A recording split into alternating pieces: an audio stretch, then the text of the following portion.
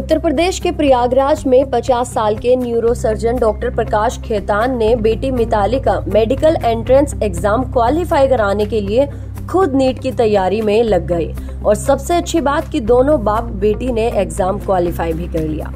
Doctor Prakash Khetan बताते हैं कि वे अपनी 18 साल की बेटी मिताली को मेडिकल के एंट्रेंस एग्ज़ाम में प्रेरित करने के लिए डॉक्टर पिता ने नीट एग्ज़ाम देने के लिए एडमिशन लिया और एग्ज़ाम भी क्वालिफाई किया।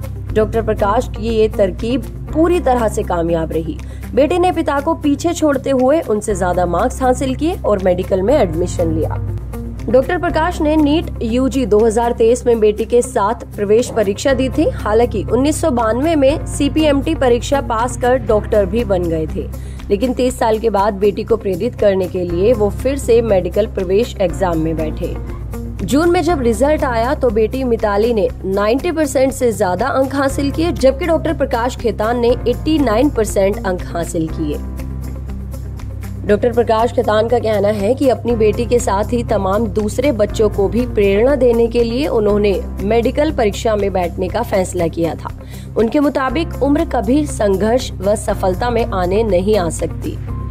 और उन्होंने यही संदेश देने की कोशिश भी की है।